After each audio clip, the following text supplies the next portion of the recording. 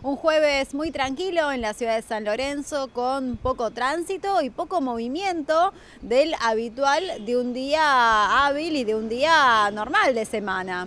Dialogamos con los vecinos, quienes nos cuentan cómo se están preparando para el domingo de Pascua, qué reflexión hacen y cómo nos encuentra como país. Ahora a la tarde voy a hacer unos huevitos de Pascua con mi familia y así que nada, eso. Vamos a comer en familia y los huevitos los hacemos nosotros y tranqui.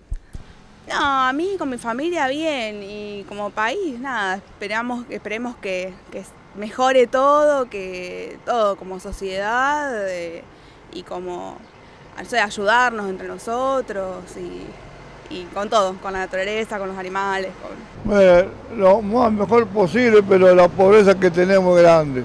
Ni pescado puede comer de caro que está, así que voy a hacer una caballa con papa, mire todo lo que voy a hacer. Le llevo por los nietos, que va a comprar 25 pesos al más chico. Tengo seis nietos, no uno. Y no, todo tranquilo está todo tranquilo.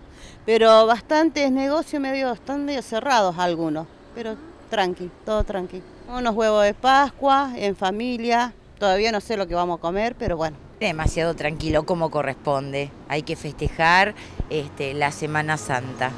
¿Y para el domingo qué, qué le espera? ¿Se reúne con la familia? ¿Ya tiene algo armado? Totalmente, es recogimiento, es paz, solidaridad.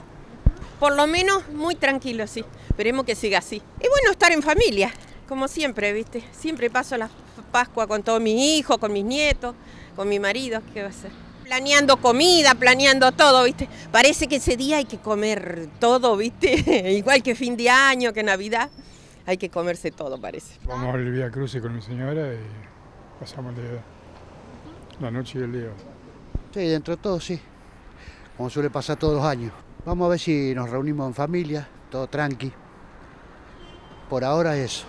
¿Huevitos de Pascua? Sí, sí, eso no tiene que faltar. ¿Ya los tienen?